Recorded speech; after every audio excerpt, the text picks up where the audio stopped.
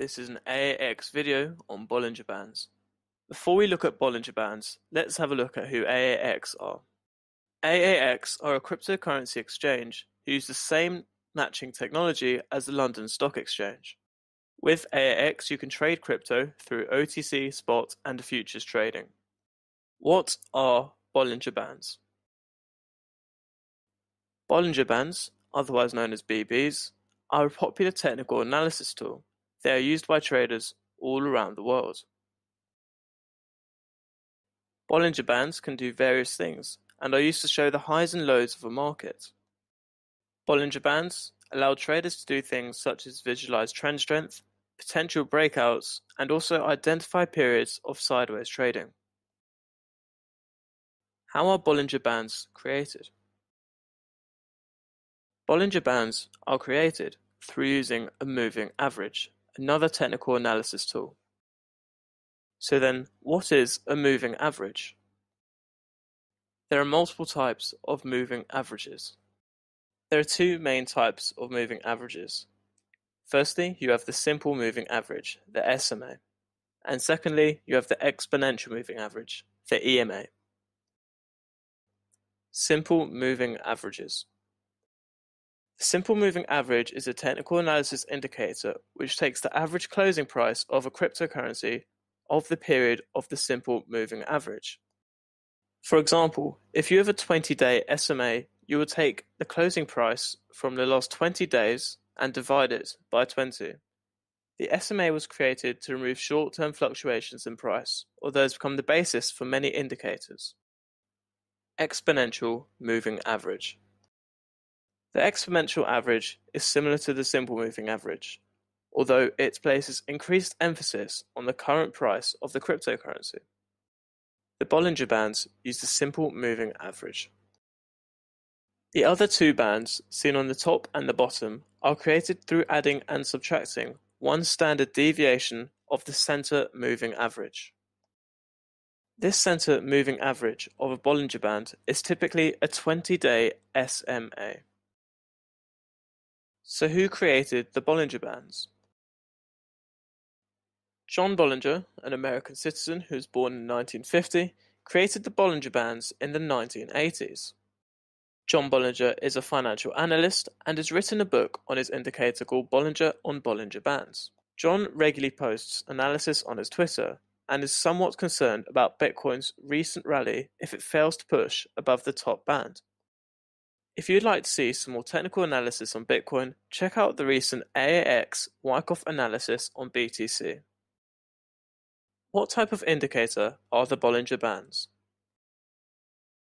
Bollinger Bands are a lagging indicator. This is due to them being created through using simple moving averages. Now that we've used the Bollinger Bands, let's see how we can use them effectively. Bullish Bollinger Bands Bullish Bollinger Bands Bullish Bollinger Bands are usually when the Bollinger Bands move from a period of sideways trading into the high regions of a Bollinger Bands in a significant move. So as we can see here, from the 11th, 10th of December, there was sideways trading period up until the 6th of July.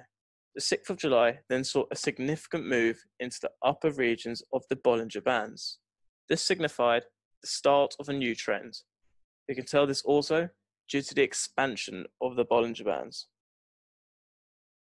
This bullish movement, when seeing bullish Bollinger Bands, will then see the center line, the 20-day simple moving average, move up with the price, acting as support multiple times. If the cryptocurrency is regularly using the upper bands as a resistance, although maintaining the positive move, this shows that the trend has likely turned bullish. So again, looking at this example, we can see that the 20-day moving average acts as support multiple times on this move up, with the upper reaches of the Bollinger Bands constantly being used as resistance, as indicated with the blue markers. So with the bullish Bollinger Bands, we know that the trend is over once a significant move below the center band has occurred. So all of the time that the cryptocurrency is using the center line as support and continuing to move up with the Bollinger Bands, this is a positive trend. And this one from the 5th of January happened all the way until the 16th of February. Although one significant move below that center band occurs, and then the center band acts as resistance rather than support, this means that the trend has likely flipped, as I'm shown with this red box. Bitcoin dipped below the red band, then attempted to make another move back up, although the 20 day simple moving average acted as resistance, with the lower band acting as support. This signified the end of the bullish trend. So, with bullish Bollinger Bands, it is possible to see the price hyperextend above the band, although this is quite rare. In this example, it did somewhat occur at the very start of the trend, although this was due to the Bollinger Bands being very small. It is highly unlikely that you will see this towards the end of the bullish trend. So now that we've had a look at bullish Bollinger Bands, here are a few things which we can take away from that. Bearish Bollinger Bands Bearish Bollinger Bands are effectively the opposite of bullish Bollinger Bands. They occur after a small period of sideways trading and are first indicated with a significant move below. So as we can see in this example, from April the 24th in 2018 all the way to May the 10th of 2018, there's a small period of sideways trading as indicated with the first purple S. This occurred before the bearish Bollinger Bands. So like the bullish bands, when the significant move down occurs, the Bollinger Bands expand. As we can see, there was a contraction, only a slight one, of the Bollinger Bands during this sideways period. And then on May the 10th, once this bullish bearish move down occurs, we see the Bollinger Bands expand. In bearish Bollinger Bands, when this move down occurs, the lower Bollinger Band will act as support, with the 20-day simple moving average acting as resistance. During this move down, you will not see the price touch the upper Bollinger Band. If it does touch the upper Bollinger Band, either reversal or is in place, or there is a period of sideways trading. So again, in this example, we can see the 20-day moving average acting as support multiple times, as indicated with the blue arrows. And we can see the lower Bollinger Band acting as support numerous times, as indicated with the black. So 20-day simple moving average resistance, low Bollinger Band support. The end of the bearish trend will be signified typically the end of the bearish trend will be signified with a typical slowdown period. This is where the bears run out of selling power and you will see the bands contract and tighten into a period of sideways trading. So again, in this example, we can see the eventual curve off of this selling followed by a period of sideways trading before the next trend occurs. So the next trend after this was a minor bullish trend. During this sideways period of trading, the second one, as indicated with the S, you will see the price move in and out of both regions of the Bollinger Bands until a significant move occurs. During bearish moves, like the bullish moves, it is again possible to see the price hyperextend, although due to it being bearish, you'll see the price hyperextend below the bottom band with the bearish moves. In this example, the price hasn't done that. So now that we've had a look at bearish Bollinger Bands, what can we take away from this?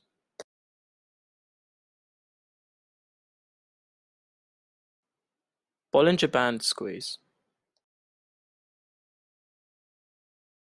So now let's have a look at Bollinger Band squeezes. So Bollinger Band squeezes are periods of tight sideways trading where the cryptocurrencies do very little. Minor price fluctuations cause the 20-day simple moving average to be relatively flat. During the Bollinger Band squeezes, you'll see the cryptocurrency, in this example, move in and out of both Bollinger Bands. So as we can see here, we have the red lines, we can see the Bitcoin is moving in and out of these bands over this 107 day sideways trading period. It is important to note that with Bollinger Band squeeze periods, the momentum is building. So imagine a slingshot.